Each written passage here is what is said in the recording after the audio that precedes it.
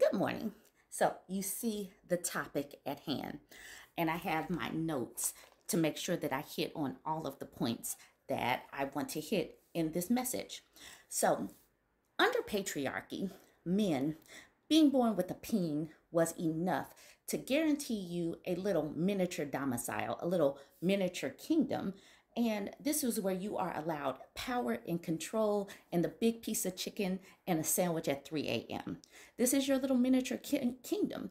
And this is honestly how the powers that be, the actual leaders and the moneyed people, kept the peons and peasants under control because it was like even the poorest, the most unattractive, the personalityless um, men's would still have a wife and children in their home no matter what. Being born with a peen came with privileges, and um, they had no control outside of their home. But as soon as they come in, they they got people to kiss the ring. They they're in control, and they get the big piece of chicken and get served first. This was going swimmingly as long as women and girls were still viewed and treated as livestock or property. And yes, women were treated like property. Um, coverture laws were a thing, and coverture laws had to be swiped off the books. Coverture laws meant that you were the property of your father until you got married, and then you became the property of your husband. So, and that's in this country. Women and girls are still treated like livestock in other countries, getting traded for cattle and goat. So the property laws, the laws where we're still seen as something to be traded, are still on the books global. But here, as women, we're able to get these rights and freedom and we transitioned from being like cattle or like a goat into being a human and we got some rights and we could actually go to work ourselves and have some financial freedom and then we got the freedom to do what we wanted to with our bodies and control our fertility. Now, men's are failing and flailing, and the patriarchy is crumbling, especially since the, the religiosity is declining as the birth control goes up and women are able to control themselves and religion is not used to shame women we're like look look bruh we're gonna have to be we're gonna have to control this household together we're gonna have to run this together as a partnership and the men's are like no where's my chicken where's my sandwich I'm supposed to eat first. Yes. And you could see that in that viral video where that man dumped the whole plate of food because he didn't get served first. So the peons or peasants are now feeling like peons and peasants in their own home and they're failing and flailing because patriarchy is declining. You guys, you guys have seen it. It's the problem because everybody eats in this house daily. You don't get the problem? No. I'm gonna show you the problems. Excuse me, bro. Excuse me. Excuse me. I'm gonna show you. I'm throw the food away. I'm gonna show you. That is so petty. I'm gonna show you. I'm gonna show you. Nobody can eat. Nobody can eat. Nobody move. Move. Don't touch me, Leon. Nobody can eat. That's so Nobody can eat. Nobody can eat. How about that? Y'all, and you know what? I want y'all in my house. Everybody, y'all get out. That's so petty. Yeah, You, you can get out. That's All so that. petty. All that. Wow. Well, nobody eats. Since, since I don't eat first, nobody eat. Y'all can get up. Uh, get y'all, bro. Get out, bro. Uh, uh, Leon, I'm done with this relationship. Man, the lost is Leon, mine. I'm done with this relationship. We're done. And that's fine. You and your son can go. That's fine. I just like You and your son can go. You and your son can go. Y'all can go. I'll make him some curry chicken before me. How you gonna make him? But I, I, how's that a big deal, Leon? I'll pay for it. It don't matter. I'll pay for it. But it's not a big deal. Wow.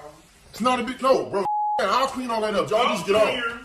Get your son, y'all leave. Um, Go. No, he ain't gotta get nothing. Y'all can just leave now, bro. I'll pack your. I'll, I'll come back. I'm, I'm here because I don't No, want. but for police. Bro, get out of my house, bro. I am. Now, like, leave. Like, I- I'll pack your shit up. I want y'all out. And little bro, y'all, you can go. This ain't my mother. You in this house. Go. Go. Out of here. Don't try to feed your son before me.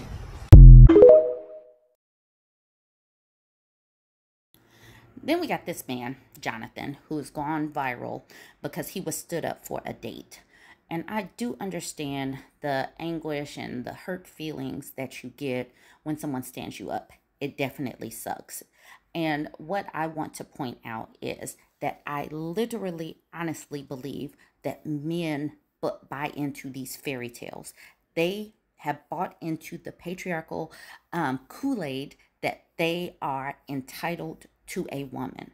Now, we don't know Jonathan. We don't know anything about him, but we do know that he was having a vulnerable moment on social media.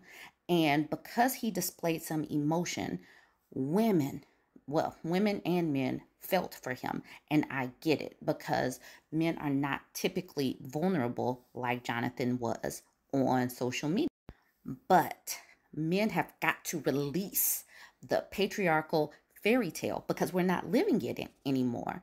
And simply dating someone for a couple of weeks, and we don't know if he displayed any red flags. We don't know what happened during the course that made that woman say, mm, mm, mm. Because online dating, let's be real. Let's be real. Let's use a touch of common sense. Online dating and dating for women in general is challenging. Um, we our safety is on the line.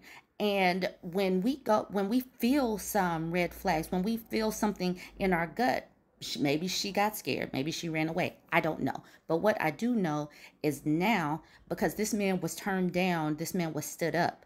Um, Keita Rose has a clip of him where she's talking about it, and now he's gone savage. Now he is saying forget these B words and just going in on women because he was stood up. Now all women get to suffer. People reject folks. It's not easy. This man in this video was talking about online dating and dating should be hard. And that's life. Going through the process is challenging and getting stood up once, having a breakup is not the the key, the ticket to treating people wrong that have not impacted your life. But that's an excuse. And now this person is going to turn into, yeah, the bad guy. At first he was talking about he's a good guy, he's kind, he but that's why we put good guy in quotation marks because just as soon as something goes wrong, that good guy switch can turn on. This is why we need to just deprogram that men are no longer simply entitled to a woman's time, space, or energy simply by being born a man. It's not the way it is. Women have to like you, be attracted to you. You have to have some emotional intelligence and all of that.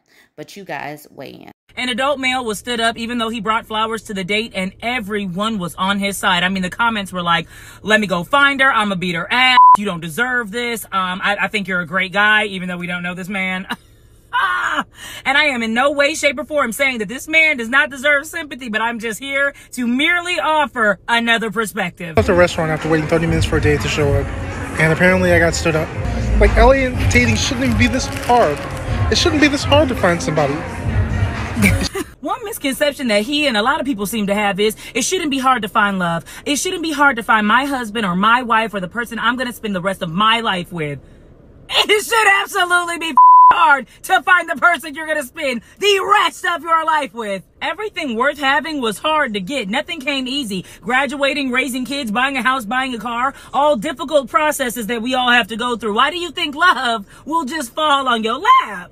Then we should ask ourselves, are the people that we are attracted to attracted to us? Because a lot of the times we want to love people that wouldn't even like us. That may be your type, but you might be that person's last resort. We see this a lot with men and women. We have unrealistic expectations of what dating should be. And then when we're let down, we internalize it as failures. Well, what did I do wrong? Nothing. Why do you think you did something wrong? Because after two weeks of conversation, you believe that you knew enough about a person's character, whether or not they were reliable, whether or not they were compatible with you, good mothers, good fathers, good people. You could not have possibly known that within two weeks of communication. Another thing we do is take one bad experience and say, that's all men. That's all women. I dated a short guy. He cheated on me. All short men cheat. no, you had one bad experience. Now he online talking about. And this is why you never help anybody out.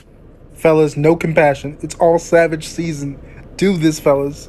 I know it sounds up, but it's true. And that's why I question whether or not he was a nice guy because he's online talking about, yeah, man, treat them all like I bought this roses from Albertsons and she stood me up, treat them bad. I haven't heard many nice guys speak like that, but maybe that's just me.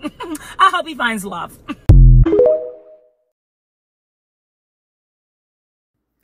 Subscribe to our Family Adventure channel.